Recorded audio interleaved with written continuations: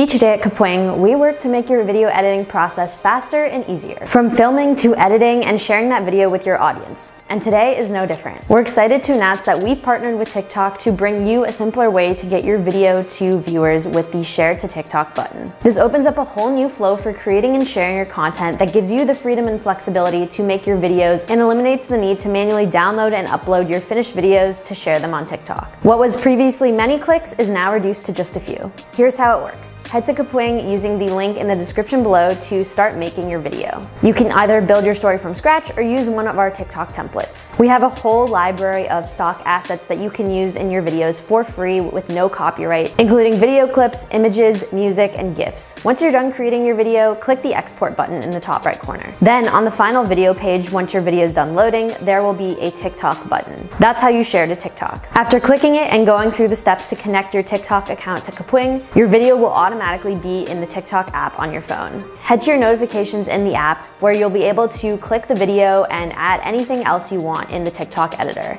Then add your caption, choose your thumbnail, and you can publish your video. This is just the first of many upcoming features we're launching to help you tell your stories and share them with the world. If you have any feedback or questions at all, please email us at hello at kapwing.com. And we'd also love to hear what other kinds of sharing features or just general Kapwing features you'd like to see in the future. So write them in the comments below. Make sure you're subscribed to our channel to stay up to date with Kapwing news and updates. And also check out our Discord where you can connect with other creators in the community. Now go try out that share to TikTok button and we'll see you in the next video.